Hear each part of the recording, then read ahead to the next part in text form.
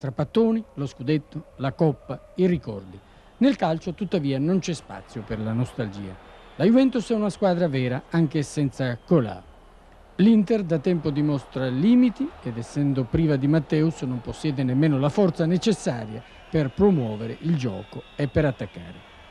È molto ben messa sul campo la Juve invece ed il palo di Casiraghi dà la netta sensazione che i nerazzurri non abbiano scampo.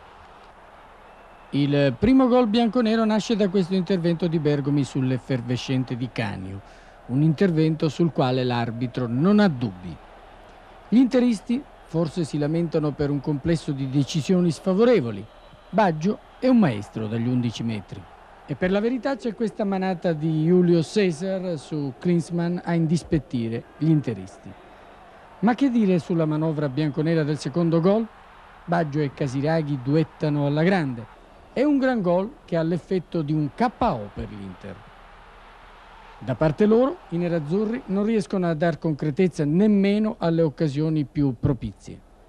Suarez nel secondo tempo manda avanti la fanteria. Ferri cerca il gol prima che Reuter, Baggio e Schillaci mettano in cantiere l'azione della seconda rete. Anche questa è una manovra che mette a nudo le carenze degli interisti e l'abilità dei bianconeri che si rivelano anche brillanti. Reuter e Galia, a parte Baggio, sono implacabili.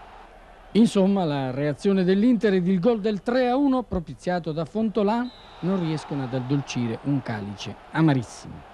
Alla fine c'è chi rimpiange Enrico, mentre Roberto Baggio, uscito fra gli applausi, dice oh, Sì, mi fa piacere così che, che uno stadio intero mi ha applaudito, però purtroppo un problema ad un tendine, alla fine del primo tempo mi dava fastidio, allora avevo chiesto al mister così se, se avessi avuto ancora noia di uscire tutto qua. Si sente il leader della Juve? Ma io l'ho sempre ripetuto, io in una squadra non c'è un leader solo, ci sono dei grandi giocatori che fanno una grande squadra.